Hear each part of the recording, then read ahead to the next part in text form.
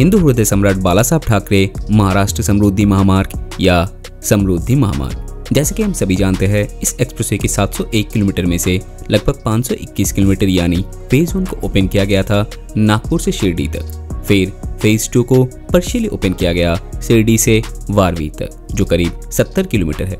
मतलब 701 किलोमीटर में से टोटल पाँच सौ इक्यानवे किलोमीटर आज की तारीख पे ऑपरेशनल है। और बाकी है 110 किलोमीटर, जिसमें आता है पैकेज 13 का 24 किलोमीटर, पैकेज 14 का 13 किलोमीटर, पैकेज 15 का 28 किलोमीटर और पैकेज 16 का 37 किलोमीटर। और एज पर न्यूज़ सुनने में आ रहा है, इस एक्सप्रेस को वारवीर से और 25 किलोमीटर ओपन करने का प्लान है इसी फरवरी में, जिसमें से आता है पैकेज 13 का 24 किलोमीटर और पैकेज 14 का एक किलोमीटर। तो आज की वीडियो में देखने वाले हैं इन दोनों पैकेज यानी पैकेज 13 और 14 का प्रोग्रेस और साथ में देखेंगे एग्जैक्ट ओपनिंग कहाँ तक और कैसे होने वाला है। लेकिन वीडियो में आगे बढ़ने से पहले, अगर हमारे वीडियो से आपको कुछ वैल्यू मिलता है तो प्लीज़ वीडियो को एक लाइक और चैनल को सब्सक्राइब ज़रूर करें। आपके इस छोटे से स्टेप से हमें काफ़ी हेल्प होती है।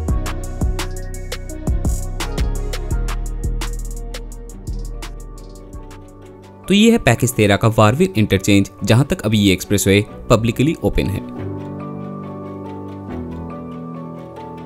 यहाँ से मुंबई की तरफ़ बढ़े तो दिख रहा है कि पीक्यूजी रोड का निर्माण कंप्लीट हो चुका है। इनफैक्ट, इस पब्लिक ओवरपास का भी निर्माण हो चुका है, जो आखिरी बार अंडर कंस्ट्रक्शन था। इसके बाद आपको दूर दूर तक पीक्यूसी का निर्माण कंप्लीट होते हुए दिखेगा।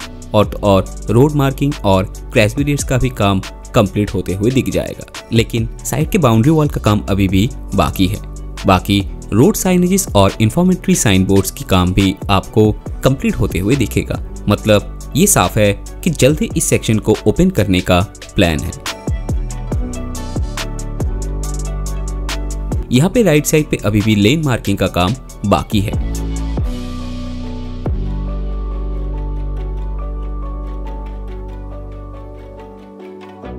आगे यहाँ पर भी आपको लेन मार्किंग का काम बाकी होते हुए दिखेगा। साथ ही साथ इस पब्लिक ओवरपास का भी काम अभी जारी है, जो लेफ़्ट साइड में दामनी और राइट साइड में बेलगांव को कनेक्ट करने का काम करेगा। फिर यहाँ पर इस सेक्शन में आपको काफ़ी सारे पेंडिंग काम दिखेगा, क्योंकि बैक टू बैक काफ़ी सारे स्ट्रक्चर्स का काम यहाँ पे चल रहा है, जिसमें से पहला, ये व्हीकल ओवरपास जो एन एच के लिए बनाया गया है। प्रोग्रेस की बात करें तो आखिरी बार यहाँ पे एक स्पैन में डेक स्लैब का काम बाकी था और दोनों ही साइड पे रैम्प का काम चालू था। अभी ओवरपास पूरा ही बन चुका है और साथ में राइट साइड का रैम भी बनकर तैयार है। सिर्फ़ लेफ़्ट साइड के रैम पे अभी काम चालू है, जो लग रहा है पंद्रह बीस दिन के अंदर कंप्लीट हो सकता है। क्योंकि अगर एक्सप्रेसवे को चालू करना है तो इस ओवरपास का फंक्शनल होना ज़रूरी है। इसके बाद आता है और दो पब्लिक ओवरपासेस जिसके आखिरी बार की प्रोग्रेस देखे तो फ़र्स्ट ओवरपास का कुछ भी काम शुरू नहीं हुआ था और दूसरे में पियर का निर्माण चालू था और इस पूरे हिस्से को काटना बाकी था। अभी फ़र्स्ट ओवरपास की पियर कैप तक बन चुका है और दूसरे में गडर इरेक्शन चालू है और नीचे पूरा ही पीक्यूसी रोड का निर्माण हो चुका है, लेकिन अभी भी फिनिशिंग का काम काफ़ी बाकी है। फिर आगे बढ़ते जाए तो आपको वापस से रोड का सभी काम कंप्लीट होते हुए दिखेगा। जहाँ पे दारणा नदी के ऊपर ये ब्रिज भी बनकर तैयार है। और आपको शायद ही ऐसा कोई एक्सप्रेसवे देखने को मिलेगा, जहाँ आपके लेफ़्ट साइड में पहाड़ और राइट साइड में खूबसूरत नदी देखने को मिले। हाँ एक है मुंबई गोवा हाईवे, जहाँ कुछ ऐसा ही नज़ारे देखने को मिलता है, लेकिन एक तो वो हाईवे है एक्सप्रेसवे नहीं। दूसरी, अभी तक उस हाईवे की वाइडनिंग का काम कंप्लीट नहीं हुआ है। तो अगर आपको मुंबई गोवा हाईवे की लेटेस्ट अपडेट देखनी है तो इस वीडियो को ज़रूर देखें। अब वापस आते हैं समृद्धि महामार्ग पे।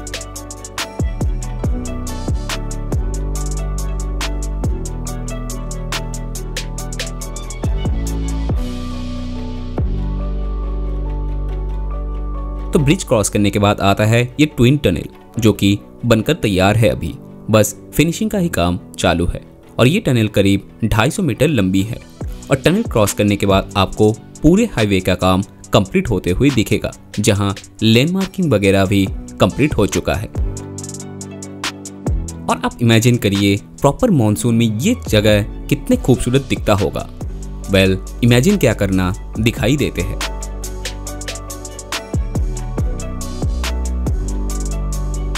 वापस आज की समय पर लौटे तो इसके बाद पैकेज तेरह के एंड तक पूरा ही रोड बनकर तैयार है।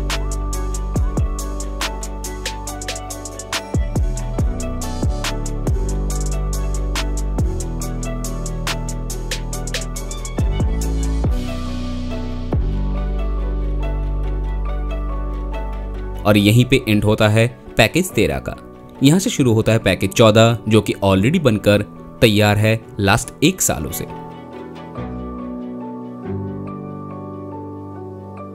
ओवरऑल पैकेज तेरह के इस 24 किलोमीटर के सेक्शन में बेलगांव के पास करीब 1.7 किलोमीटर में ही ज़्यादा काम बाकी है।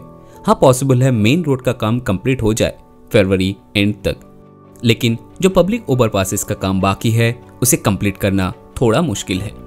बाकी वीडियो के स्टार्टिंग में हमने बताया था कि प्लान करा जा रहा है 25 किलोमीटर को ओपन करने के लिए, जो है पैकेज तेरह का ये 24 किलोमीटर और पैकेज चौदह का ये एक किलोमीटर का पैच।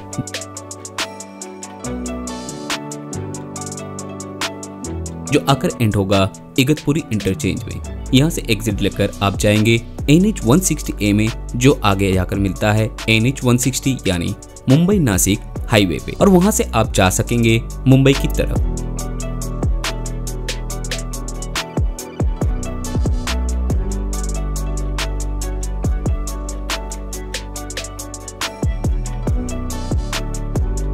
पैकेज 14 का टोटल लेंथ है 13.1 किलोमीटर और हमने बताया कि ये पैकेज लास्ट एक साल से रेडी होकर पड़ा है। तो सिर्फ़ एक किलोमीटर के हुई क्यों ओपन करा जा रहा है? तो इस वन किलोमीटर के बाद शुरू होता है इस एक्सप्रेस का सबसे लंबी टनल जो करीब 8.2 किलोमीटर लंबी है।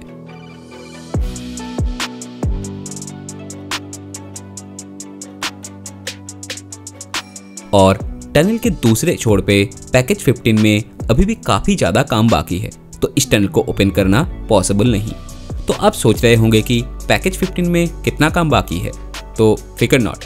नेक्स्ट वीडियो में हम पैकेज 15 का भी प्रोग्रेस देखने वाले हैं।